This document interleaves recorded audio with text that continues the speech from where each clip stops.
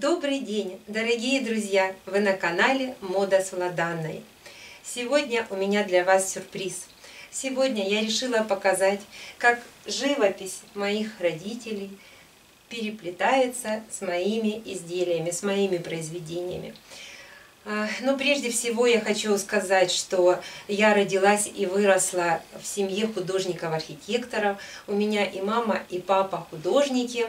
А, мамочки, к сожалению, уже нет в живых, но я решила вас начать знакомить с ее чудесными картинами, с ее работами. Они радуют меня, и я хочу в конце своих видео делать такую небольшую арт-заставочку, очередную мамину работу. Я считаю, что искусство должно принадлежать людям и также радовать вас.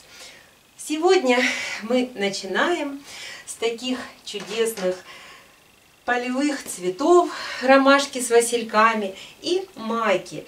Это работы, которые пользовались максимальным спросом в свое время при жизни мамы. Э, всем э, почему-то нравились полевые цветы и предпочтения среди других цветов, ирисы, розы и так далее. У мамы очень много работ, плодотворная художница. Вот почему-то людям нравились полевые цветы особенно.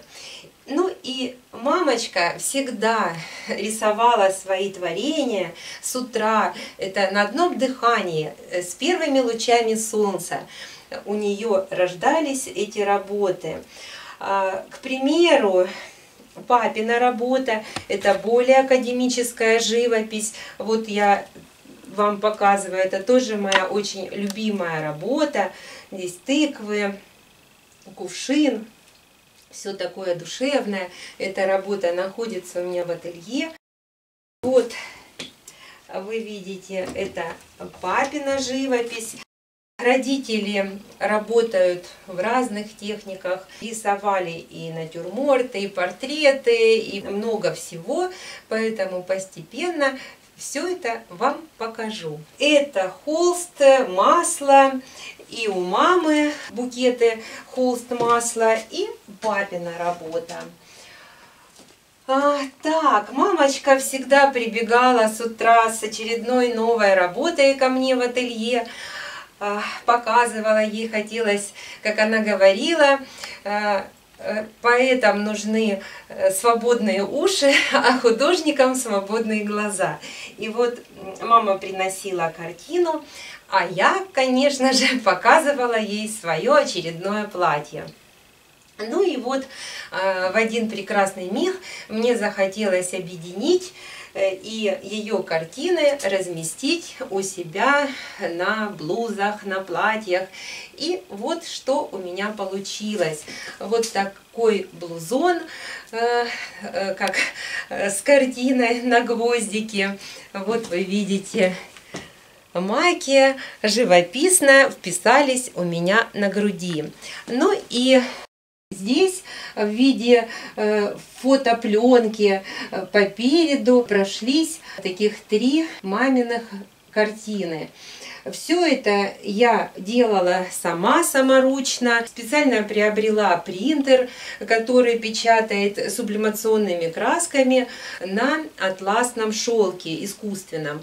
Ну и можно напечатать все, что угодно. Вот примеру, мои заготовочки. Вот мамин э, арбузик, натюрморт, есть ирисы, ну, много чего есть. Э, вот, творчество било ключом, желаний было много. Порадовала себя, порадовала моих клиентов. Вы сейчас увидите фотографии изделий, которые тоже э, мы изготовили в моем ателье и платья, и кофточки, и четыре картины на груди, художественная галерея. То есть много чего интересного. Вы видите э, здесь э, вставка по переду на белой ткани, на белом трикотаже. Это моя блузочка, постоянно я ее стираю, надеваю и нигде ничего не линяет. Поэтому я вам советую не бояться печатать различные фотографии, картины, все что угодно, и это использовать на своих изделиях. Вот сегодня прием такого живописного проникновения в мои платья, в мои блузы я вам продемонстрировала. В любом городе, в фотосалонах есть услуга печать на тканях, и вы можете без проблем запечатлеть любую, э, любимую фотографию, любимую любимую картину или все что угодно, абстракцию, композицию на ткани. Вот этот прием перед вами. Конкретно вот эту вставочку мне еще захотелось а, обстрочить, выделить такой вот тесьмой, которая, это готовая тесьма была э, приобретена и подобрана, которая создает вот эффект края фотопленки, как три кадра в пленочке. А у меня, вы видите, гвоздик и веревочка, картина в рамочке. То есть вот такие идейки душевные, милые, очень нравятся моим клиентам, моим девочкам, всегда получаю комплименты. Так, ну, конечно же, вы еще не видели, кстати, мои брючки, к слову, вот такие оригинальные. Но сегодня не про них. Пишите в комментариях, если вам они понравятся. Может быть, сделаем очередной обзор моих ладанов. Что же здесь интересного в этой блузочке? Ну, помимо того, что вот у нас ровная полоса, она проходит четко по нагрудным рельефам, и это, в общем-то, достаточно просто. А, эта полоса может вписаться в ваш, ваш размер. То есть бачок вы под себя а, подбираете, и ровная полосочка вписывается по переду. Но здесь еще интересный рукавчик, заведенный рукавчик с тремя такими милыми выточками на плече. Вот рукавчик заведен на плечо, и вот все подробности раздвижки и построения этого рукавчика на схеме на столе. Пожалуйста. Друзья, перед вами схема выкройка моей блузы с оригинальным рукавом. Заведенный рукав на плечо и с тремя выточками. Я показала все размеры, показала пунктиром заведение рукава и раздвижку горловины. Построение рукава и размещение участка, на котором производится раздвижка, тоже показаны. Выточки находятся на расстоянии друг от друга 3 сантиметра и шириной по 2 сантиметра. А, Все понятно достаточно. Средняя часть моей блузы шириной 22 сантиметра. Это мне дало возможность проложить тесьму э, по сантиметру с каждой стороны и разместить четкие квадраты картины. Стойка абсолютно прямая со сгибом длиной 48 сантиметров, шириной в готовом виде 6 сантиметров. Спинка со сгибом и с выточками. Вы видите бачок по переду отрезной, который нам дает возможность сделать полноценную посадку на грудь, приталить нашу блузку.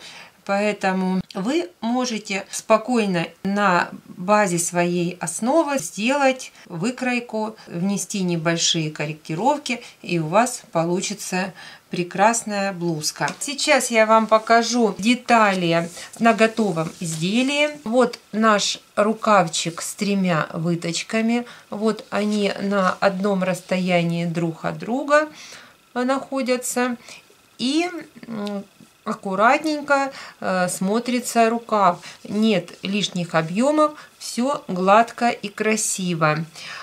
Я давала на квадратах небольшую свободу, так как это атласная ткань, атлас шелк, а основа трикотаж. И чтобы была возможность растяжения по фигуре, вот мои квадратики в свободном состоянии с легкой посадочкой. Квадраты были сострочены отдельно между собой, и эти два слоя входят в боковой рельеф край перехода одного материала в другой наша строчка перекрыта тесьмой. Все завязалось, как всегда, получилось, и мне все нравится. Надеюсь, что и вам эта идея пришлась по душе. Друзья, я уверена, что сегодняшнее видео вас не оставило равнодушными. Мы окунулись в мир э, творчества, искусства моих родителей. Вот это прекрасная картина, это чудесная картина Маки. Вот вы видите а, Меньшова Наталья Михайловна, 2009 а, год. Было написано это полотно 60 на 60 сантиметров квадраты. Она любила вот такой формат квадратный. Ей нравилось буйство цвета, энергия в картине, вот в каждый лепесточек как живой. Okay. Ну и вот картина на мне. Надеюсь, вам понравился сегодняшний формат видео, такой симбиоз с живописью. Более подробно с творчеством моих родителей вы можете познакомиться в инстаграме. Там есть Владанна Арт, творческая галерея. Также у них еще есть и свой сайт Меньшовый Pentium. Ссылочка на этот сайт есть под видео видео. А, этот сайт поддерживает мой папа Павел Меньшов, художник. Ну, я думаю, что вам будет приятно знакомство с такой стороной моего, э, моей жизни. Вы узнали обо мне немножко больше и о моей семье. Ну и надеюсь, что это видео вам понравилось. До скорых встреч на канале Мода с Владанной. Всего вам доброго! Пока-пока!